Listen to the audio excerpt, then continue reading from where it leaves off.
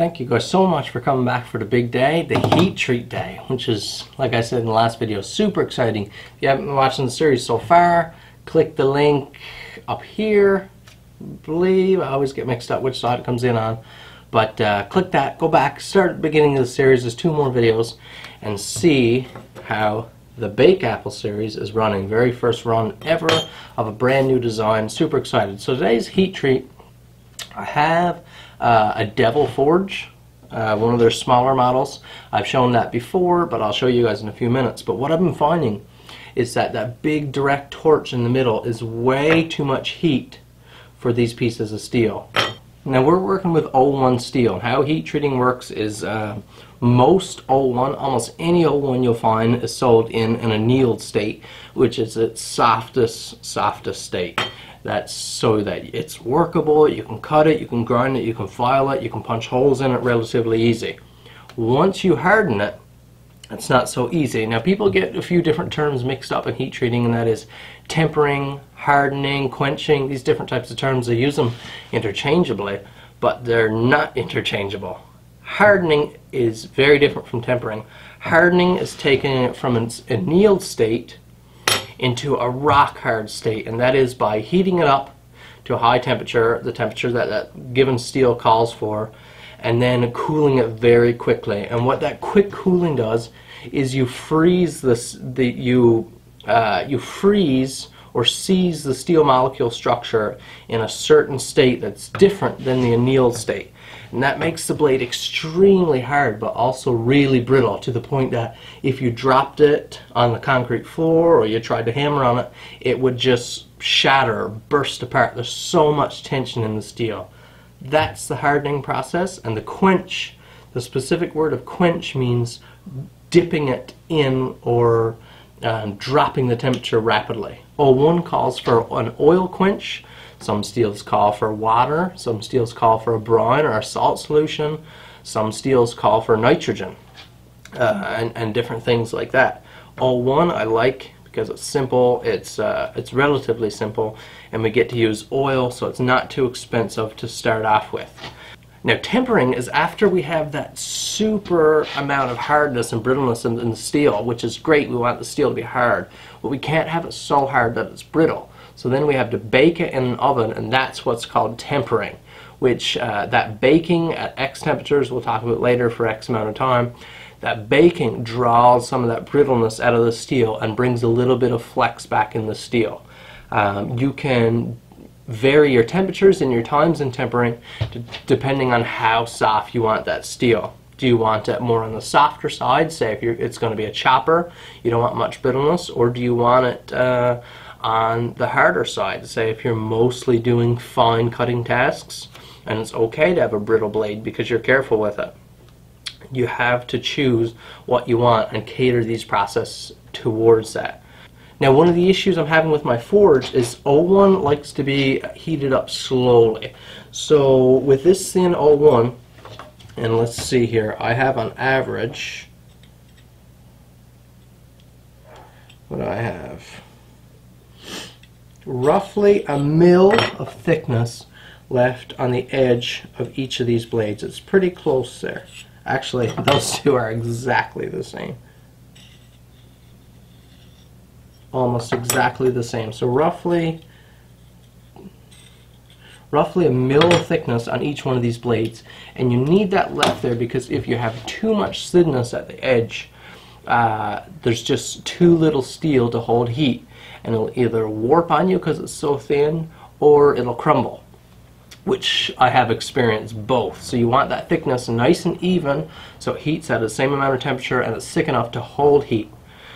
Now, with that thin of steel, O1 like this, 1 8 01, ground down to a mil thick, under the torch in my forge, I can realistically heat these up to temperature in easily less than two minutes, probably 90 seconds. You can have these up to, to orange. But that's not what you want for uh, O1 steel. So what I'm going to do here is cut this piece of steel pipe and I can stack all these blades in this steel pipe and put this inside the forge so I don't have the direct flame heat so I don't have that direct flame heat right on my blades. That'll uh, I can just run the forge for a while with the flame on this, the knives inside, and bring that temperature up gradually. So now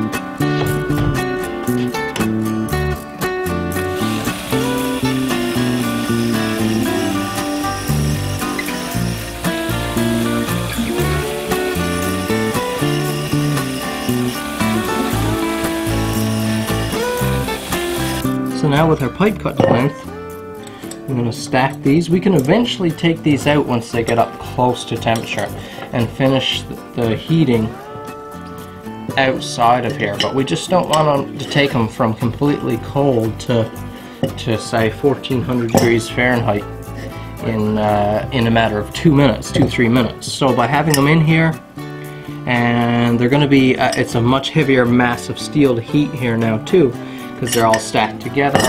And then with this steel pipe outside and the flame beating on this, it'll be a much slower bring up to temperature.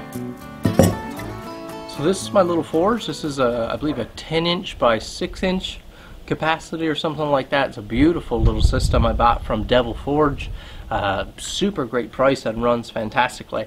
However, I'm glad someone pointed out to me the inside of this furnace here is lined with what's called Kaowool, which is a ceramic wool liner. And um, as that gets beaten with the compressed air, it, uh, it sort of breaks down. You get this fibrous material coming off of it, uh, becomes airborne, and that's really not good for you. I think it's somewhat similar to the idea of asbestos, so you really don't want to be breathing it in. So you want to be using it in a well ventilated area uh, at minimum, but certainly I wouldn't use it without uh, a respirator. Now I have, um, you can buy rigidizer and you can buy different materials. I have a bucket of furnace cement that I'm going to layer this thing around with instead. I just haven't gotten around to that yet. So today, full respirator and, uh, and eye protection, which I'll probably always wear anyways. But if you buy one of these forges, just be mindful of that.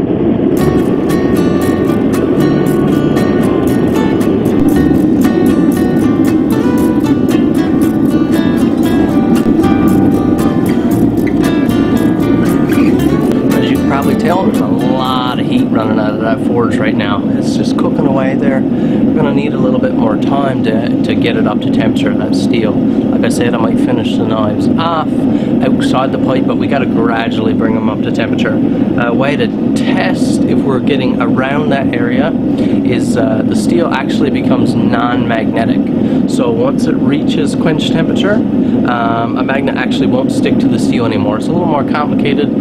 Should be a little more precise than that, but that gives you a ballpark area. Let it soak in that temperature for a little bit to really get it thorough and then you can do your quench. And your quench has to be really quick after getting out of that flame because that temperature just sucks out of the steel so quickly. Now I don't use the specific quench oil. I just use uh, an engine type oil just a 5 or a 10W oil. And uh, I'll heat that up a bit first. I'll heat up a piece of steel drop it in there just uh, to give a little bit of temperature to that uh, to that oil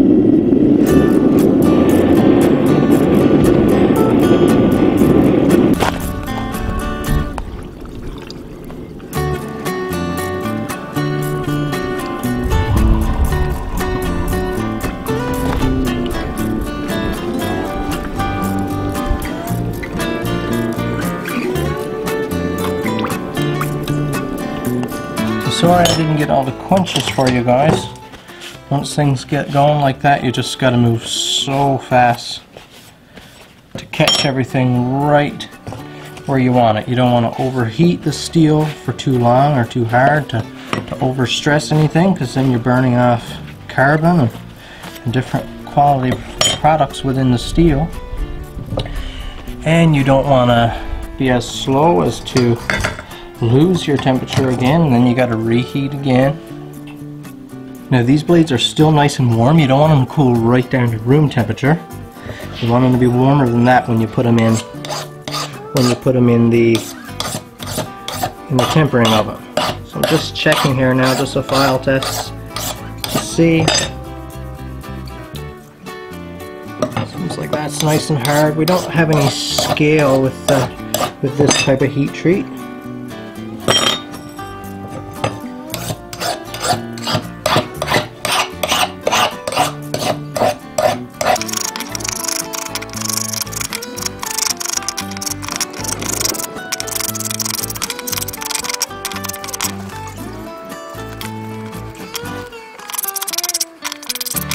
So here we have it, six blades that have been quenched, so these have been hardened now. These should be up in uh, the 60s Rockwell, probably mid 60s or a little higher Rockwell. So this isn't anything fancy here, this is just a toaster oven. And I'm going to maintain about 440 degrees for an hour. So between 400 and 450 degrees for an hour should give us mm, high 50s, 58 to 60 or so rock, Rockwell hardness, excuse me, which is, is still fairly hard. And uh, and that's for me. That's where I like a blade. I don't like a real soft blade.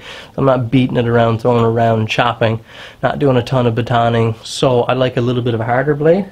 That's where I'm going with these.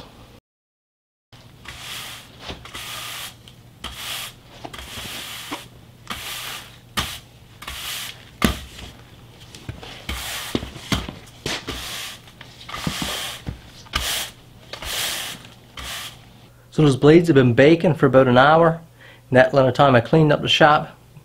Got a full uh, pickup load of garbage to take to the dump later today. Let's go see what we got here. I always throw on some eye protection anytime I'm doing something like this just because I don't know what could happen and I'm not going to chance nothing.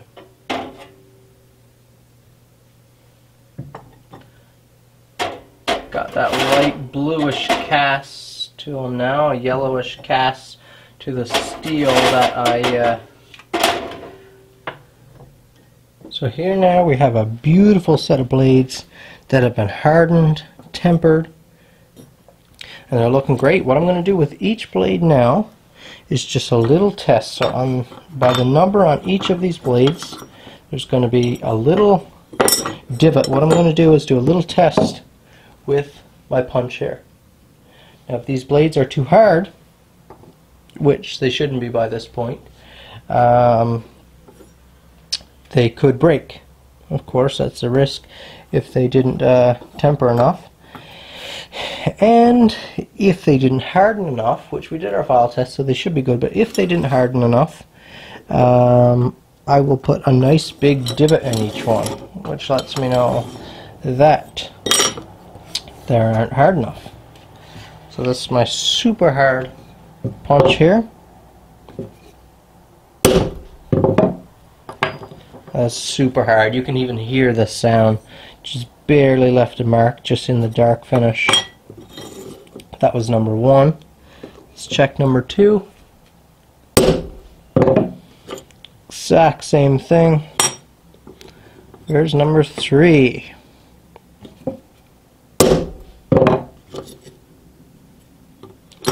Rock hard. These are super hard and they've obviously been tempered adequately. Uh, we've got no breakage, no shattering. You can hear they even sound a little different now I find. After heat treat like this they have like a, a higher pitch sound. We'll check them here. They all fit beautifully flattened together. You can hear that sound. Now we've got the annoying, arduous part of hand sanding each of these blades. I haven't found any other viable option yet of doing this other than hand sanding to get that nice perfect uh, striation. There's no nice way of doing it. Keep everything wet, that way you don't have to wear a respirator. Get yourself some good sandpaper and get to work.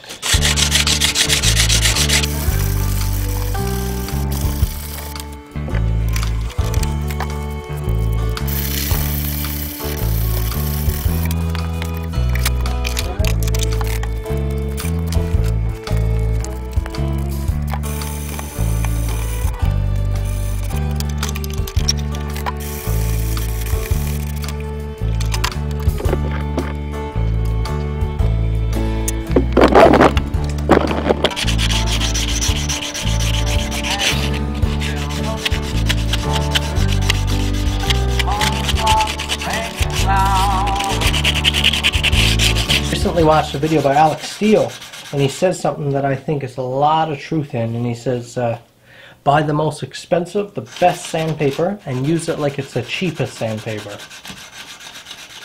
And that is uh, tear a piece off as soon as it starts to, to wear, out, wear out a little bit or it's not as sharp, throw it out. Start with a fresh piece.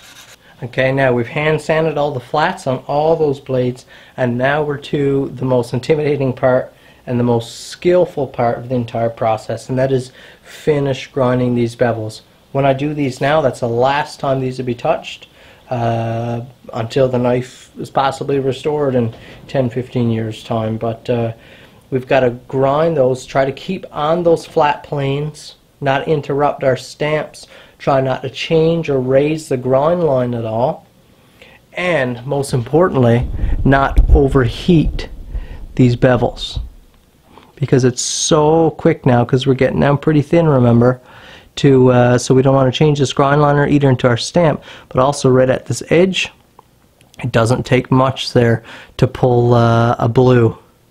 You'll you'll be running and all of a sudden you'll see this burst of blue come out by your edge and then you've you've overheated it. You've made that uh, brittle or you've compromised the heat treat there. So we don't want to do that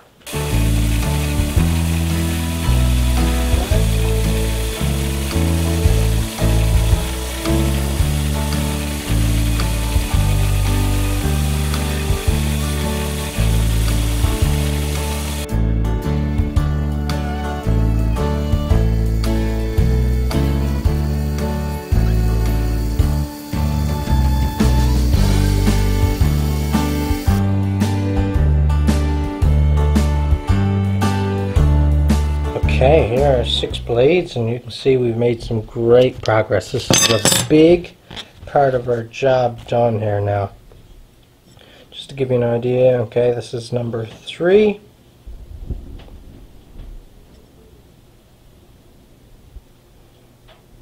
Check out that razor sharp grind line. Oh, is so addicting to produce that. And you also notice that after heat treat, because of that black from the the fire and everything, the our stamps are filled in with that now. So they they stand out. They really pop. They're black. You'll notice in some places, like right down here, we have still a little bit of black, a little mark there. We didn't get out, but I'll leave that and right here at the tip. And that's because we have to throw a micro bevel on here anyway, so that'll get taken up with the micro bevel. We don't want to take off any more steel than we have to number two here. Check out that grind line. Beautiful.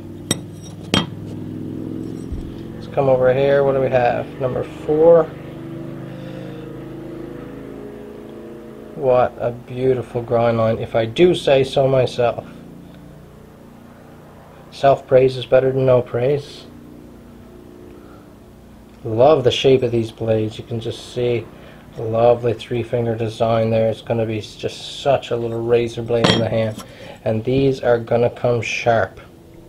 Which brings me to my next point. This is something I do now. I actually finish sharpen all of my blades number six here. I finish sharpen all of my blades before I do any handles.